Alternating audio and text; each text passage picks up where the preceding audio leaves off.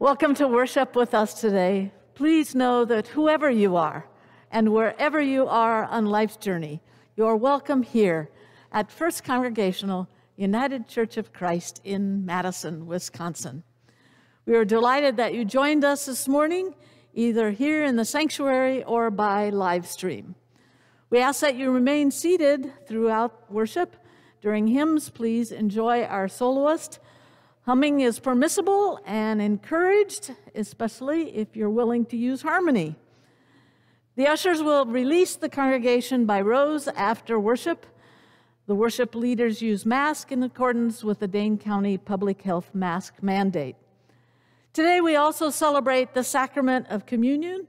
If you did not bring your own elements or forgot, there are individual packages of juice and wafer at each entrance. First, pull back the top for the wafer, and then the second pull back is for the juice. Let us now enter our time of worship together.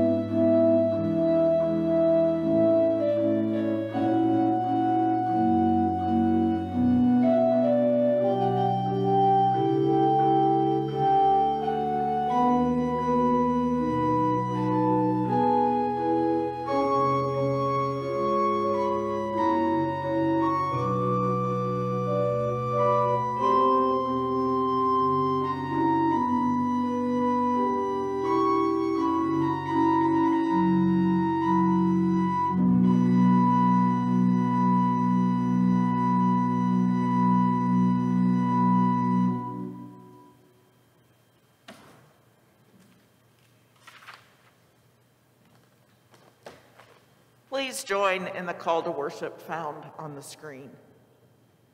By God's grace, we are who we are. People who are called, but afraid to follow. By God's grace, we are who we are. People who are called and gifted with courage. By God's grace, we are who we are. People who are called and given good news to share. When we offer the peace of God to one another, we are saying that we believe God's peace can grow in us and take us to new places of wholeness and service. Let us offer that now to each other with these words May the peace of God be with us all. Please offer a wave to your neighbors as a sign of peace.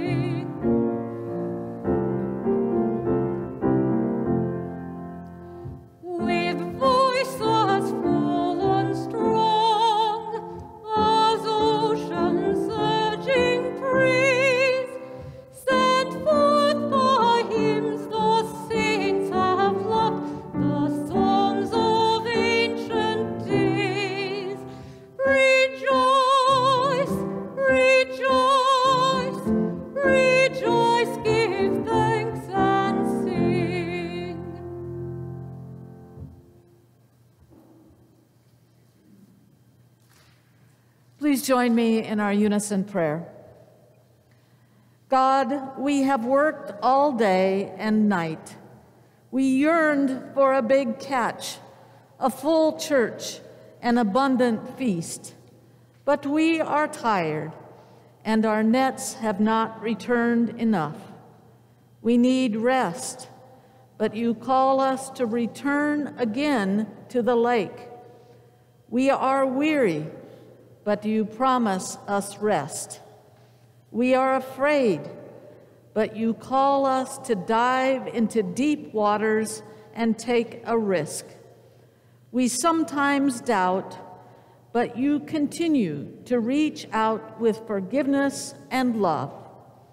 Grant us grace that we may proclaim your word, work for your kingdom, and trust your promises. Amen.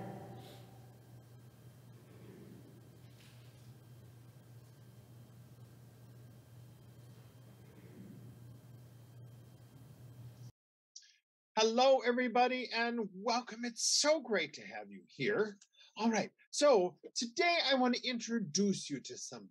I want to introduce, maybe you know this person already, or maybe you've seen this person around, okay? So here is the person. Okay, how many? Yeah, it looks like a lot of hands are up. Everybody knows who this person is, pretty much everybody. And what? Okay, you're shouting out his name already. I hear that. What is this person's name? Well, of course, it's Waldo. That's Waldo.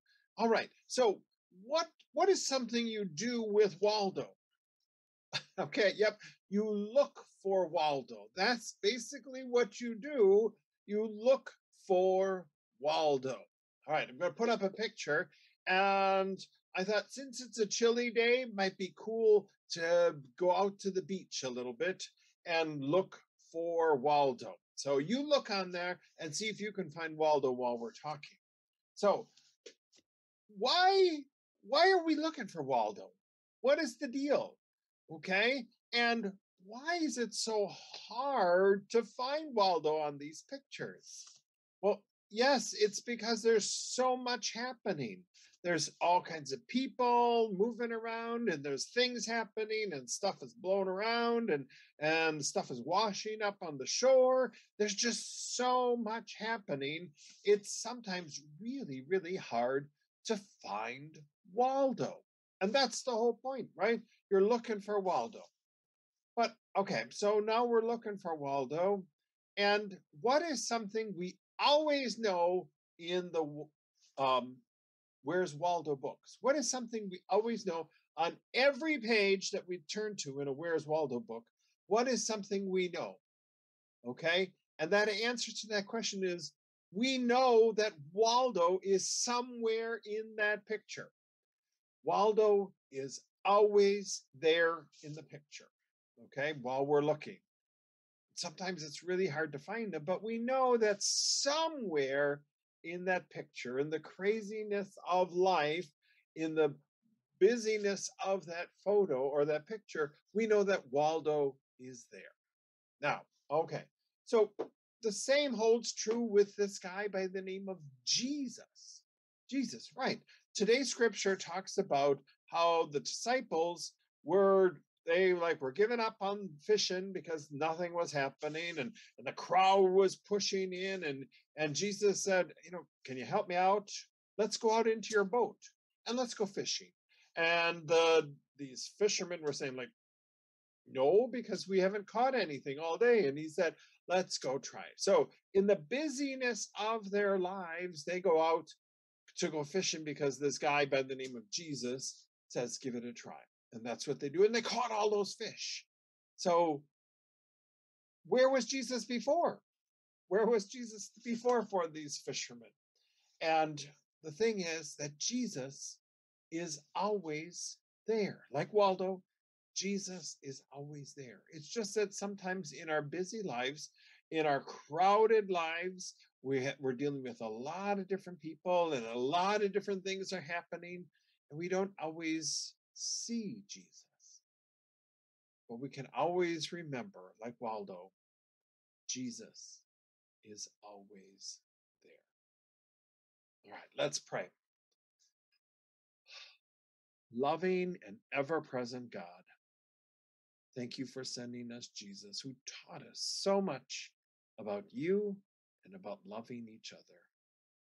In our busy lives, help us to remember Jesus is always there. Amen. All right, we'll see you next time. Take care.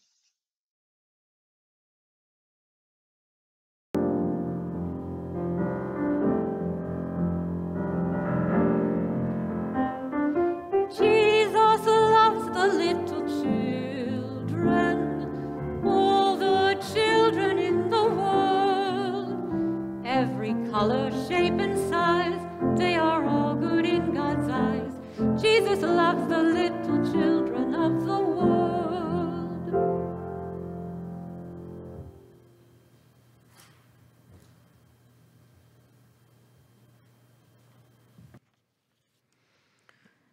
Our reading today comes from the Gospel of Luke, chapter 5, starting at the first verse.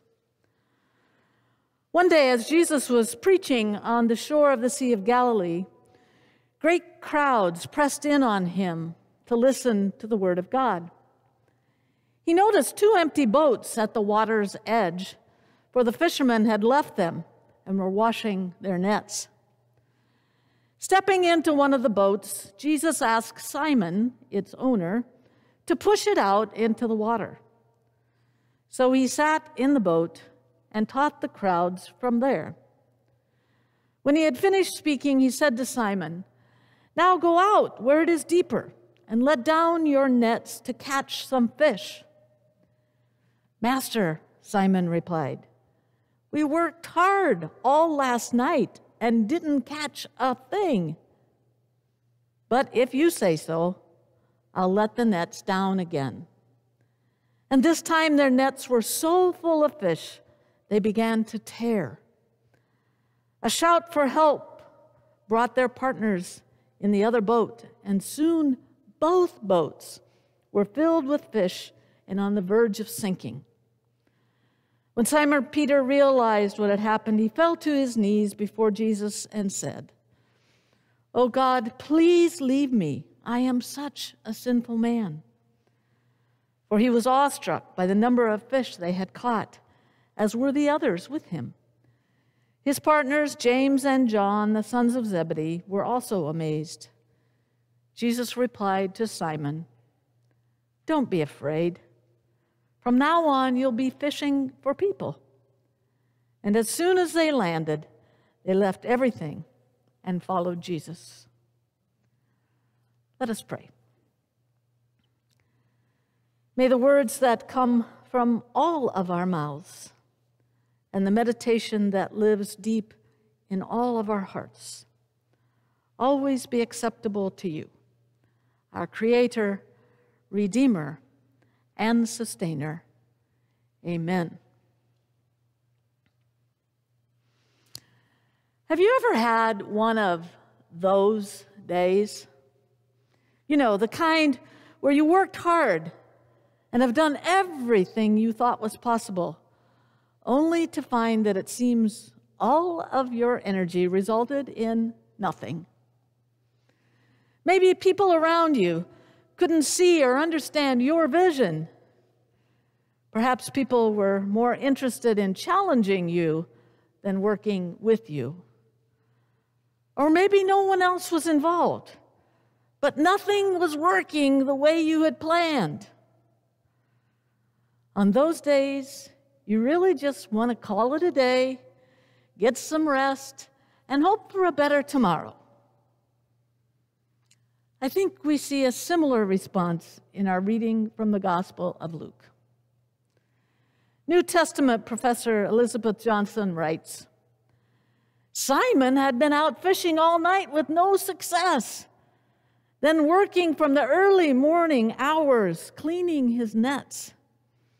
Most likely he was exhausted and looking forward to going home and getting some sleep.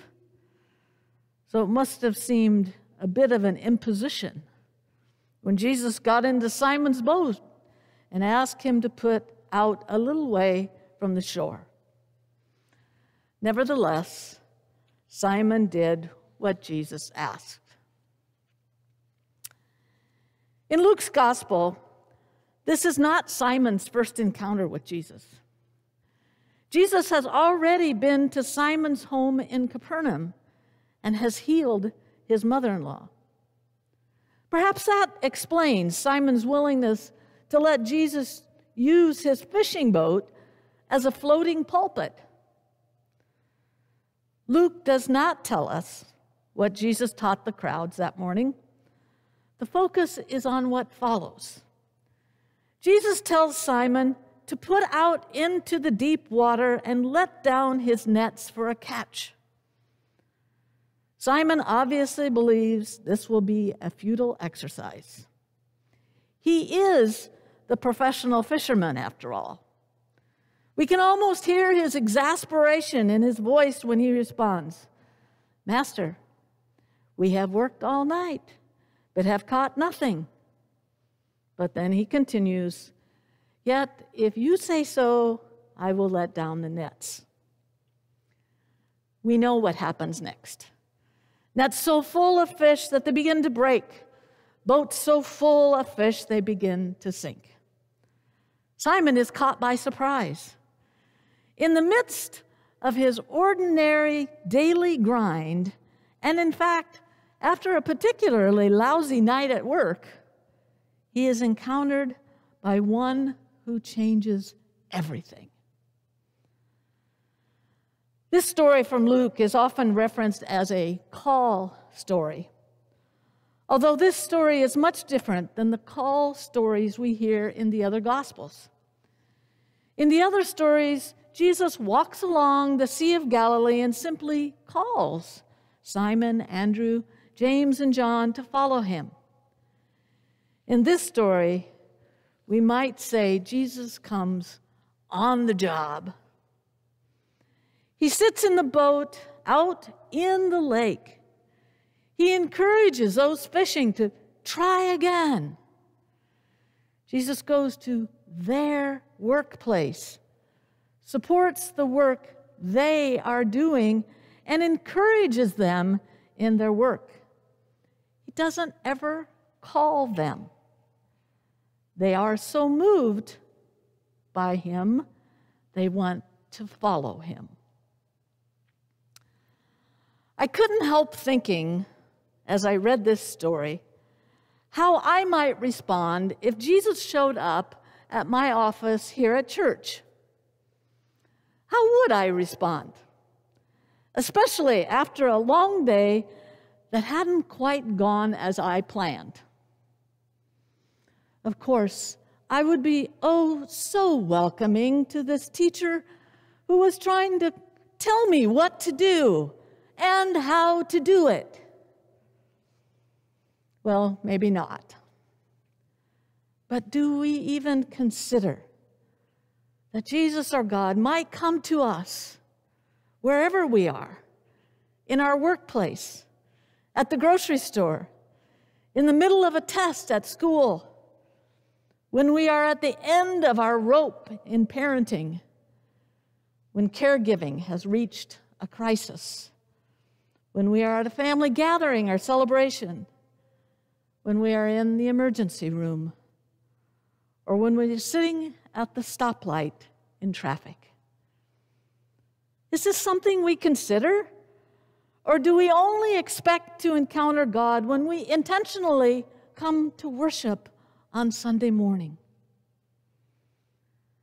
Jesuit priest James Martin, in an article in the Washington Post, wrote God meets you where you are, is a saying we heard often in my Jesuit novitiate because it was beloved by the assistant novice director. God meets you where you are. David Donovan, a marvelous Jesuit, used to say, Father Donovan used to say that expression over and over again in both conversation and homilies. In a nutshell, the popular saying means two things. First, God doesn't expect us to be perfect before we can approach God or before God approaches us. Your spiritual house doesn't have to be perfectly in order for God to enter. And second, God meets you in ways that you can understand and appreciate. If you are scholarly or more introverted, for example, you may meet God by being inspired by a book you read. If you're a more social person, you may meet God in a group setting. If you're someone who loves nature, you may meet God by the seashore. God meets you as you are, where you are, and in ways that you can understand. This is exactly what happens in the story we read today.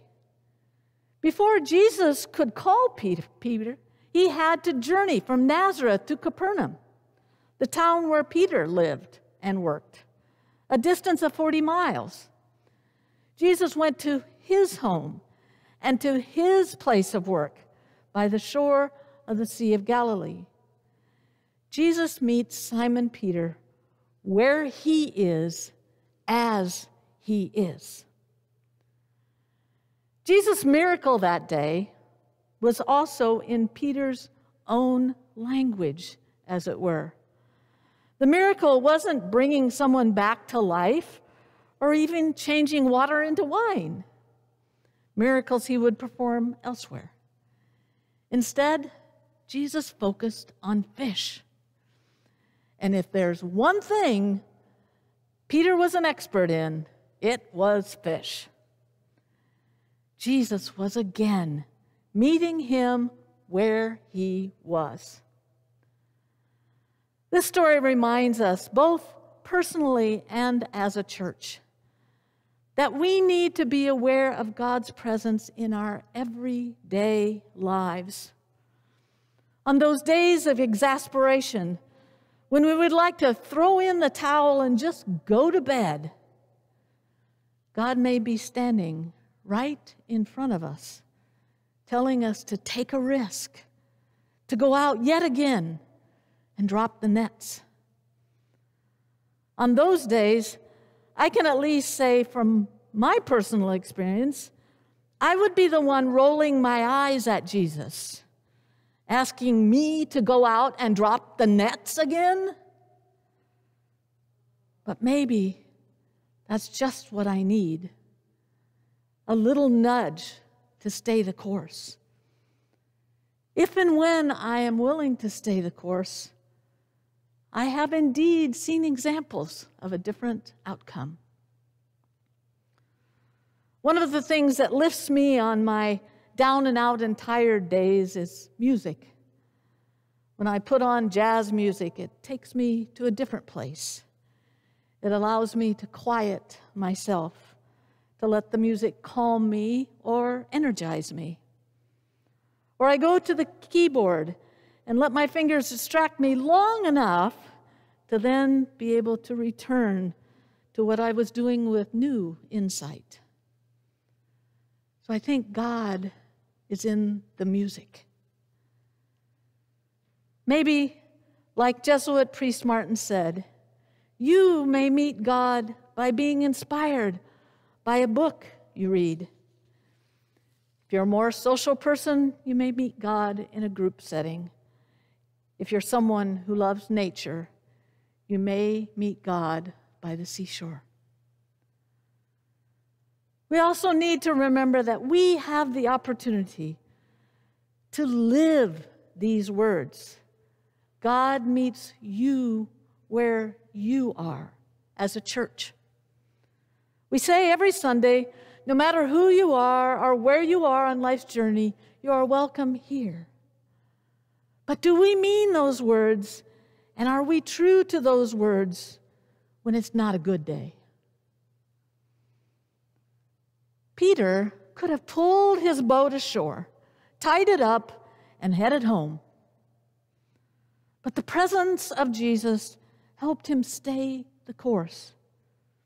And in staying the course, he was changed in that moment. Now, we do know that he didn't stay on course later but he's human. And that doesn't mean that God will not meet him again where he is. God meets us where we are, but never leaves us where we were. God invites us into a different space, a space where God can provide love, forgiveness, and offer grace. Where has God met you recently? Was it at home? In the grocery store? On a walk? At work? Or at the doctor's office? What did God offer to you in the midst of pain, frustration, joy, celebration, or grief? How might that have changed you or how we think about God. Amen.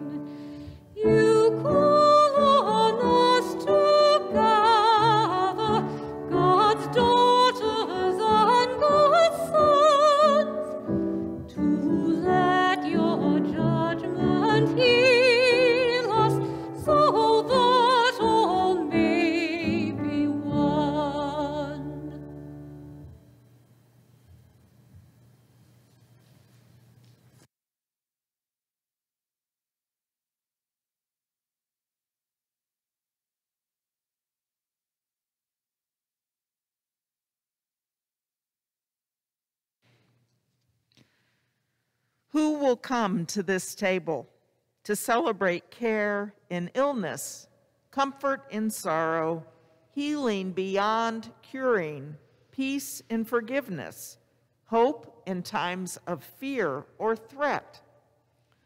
Who will come to this table having abundance, as culture defines it or your heart knows it?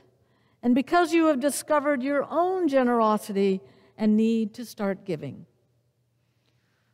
Who will come to this table willing to be welcomed, even when that is awkward, willing to be served, not a server or planner of the menu, and willing to welcome anybody, anybody, anybody who sits beside you, willing to offer welcome, even expecting it to be rejected, and if it is, offer again. Here we are.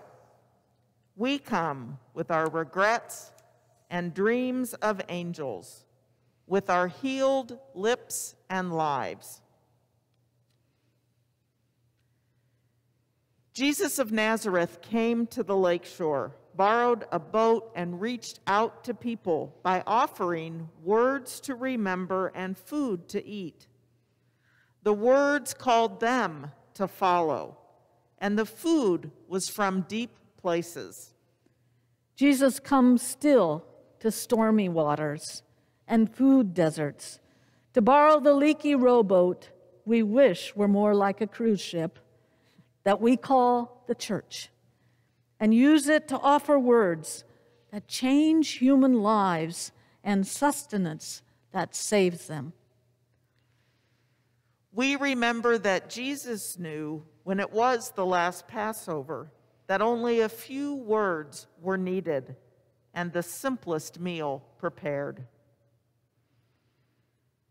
Jesus blessed, broke, and shared the bread and whispered, For you.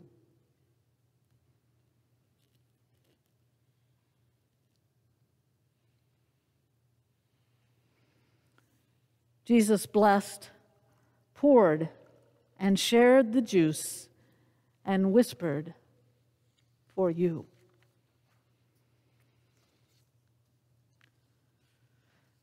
Let us pray together.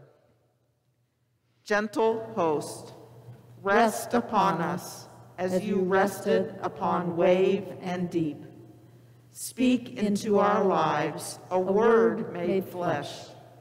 Send your spirit of life and love, power and blessing upon your children, that this bread may be broken and gathered in love, and this cup poured out to give hope to all. Risen Christ, live in us, that we may live in you. Breathe in us, that we may breathe in you. Amen. Let us join as one, though we are in many places, and receive the gift of God, the bread of heaven. We are one in Christ in the bread we share. Let us, with our many needs and many blessings, receive the gift of God, the cup of blessing. We are one in Christ in the cup we share.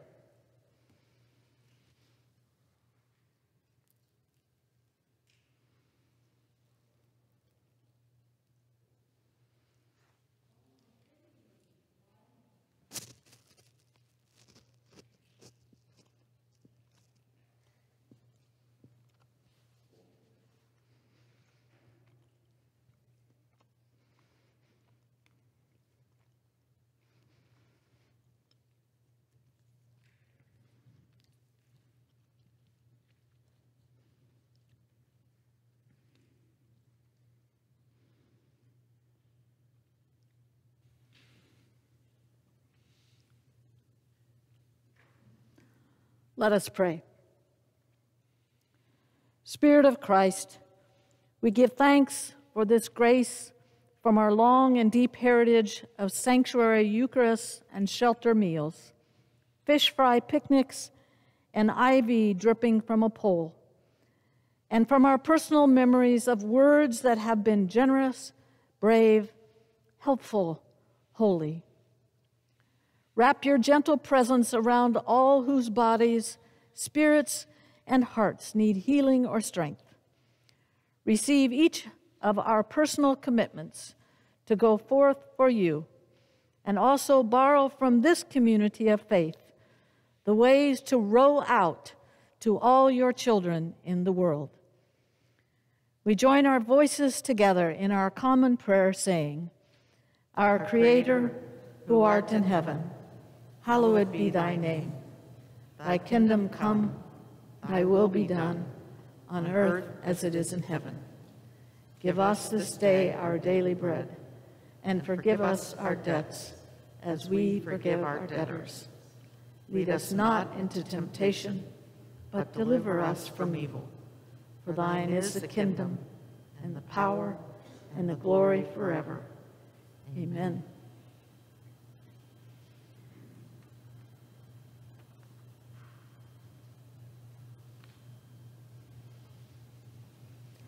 Each day when we greet the day, we wonder what the day will hold for us. Will it be a good day, a challenging day, or just an ordinary day? On those days when we are able to recognize God's presence, we are also able to see the abundance of gifts we have been given. At that moment, it is with gratitude that we are able to give ourselves. Gifts can be made via the website, through Realm, by mail, or left in the black boxes near the exits.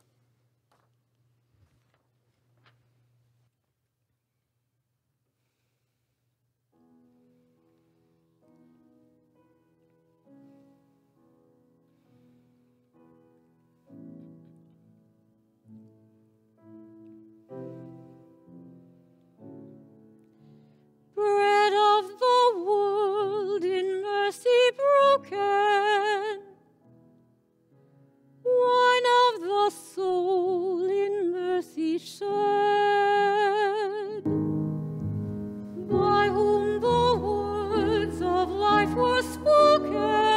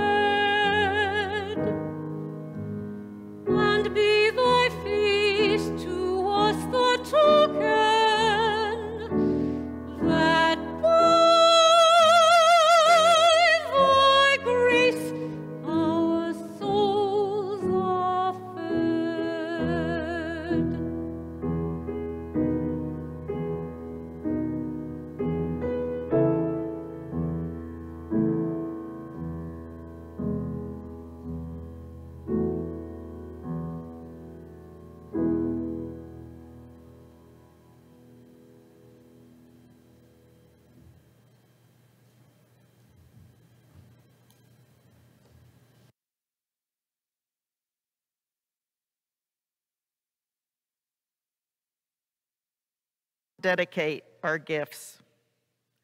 God of great gifts, we give thanks for all the ways you meet us where we are and sustain us for life. We pray that these gifts will provide what is needed to move people to the fullness of life you desire for all. In that spirit, we joyfully present our gifts. Amen.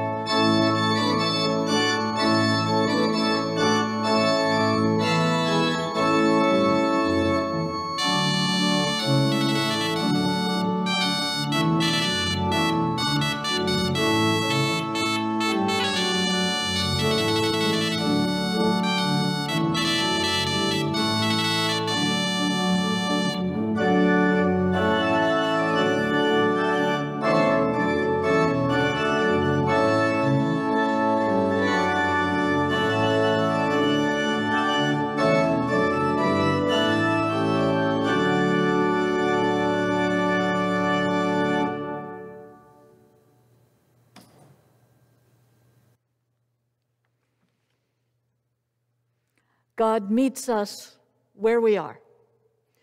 Whether it is when we are fishing, doing our daily work, playing with friends, or under hospice. But God never leaves us where we are. God invites us to life centered on loving God and neighbor. We will have to take risks and go deeper than we had planned. It was Simon's choice to follow. The choice is also ours. Go in peace. Amen.